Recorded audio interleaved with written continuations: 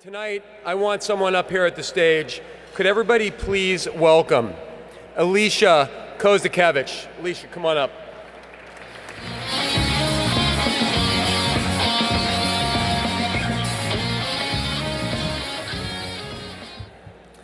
So, sometimes these coins are used when you complete something. Tonight, these coins are going to be used to start something.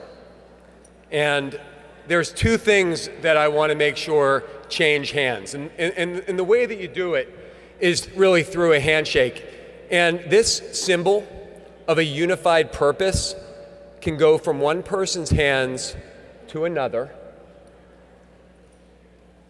But for one person in this room, and it's Alicia, there's something that um, goes along with the coin something that was given to me um, when I was a very small child um, by my father.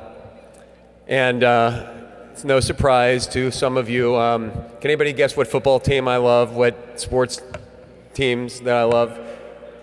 I've always wanted to do this on stage. Yes, I get to do it. Here we go, Steelers, right here. Okay. I know, I know, I know. Alicia has a story. She's from my hometown of Pittsburgh, and along with that coin, this is something that I've treasured that I very much want you to have.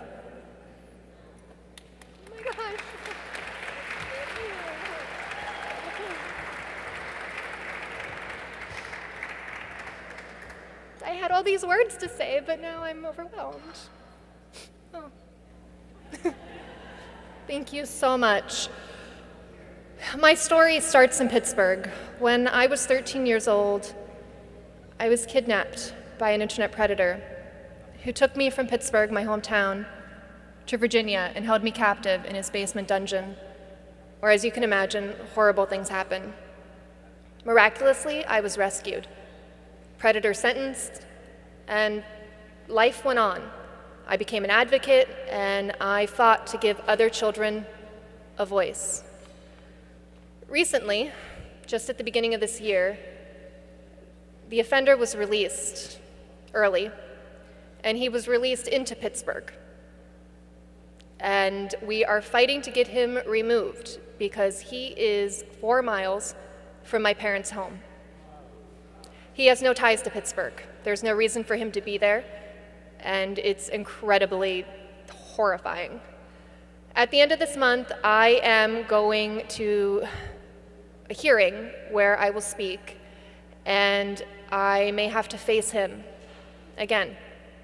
Now, I realize that I have this beautiful coin, and I'm going to take it with me, and I'm going to set it there, and I'm going to remember all of you here tonight, and how amazing you all are, and the fact that no child has to stand alone, and I will not be standing alone that day.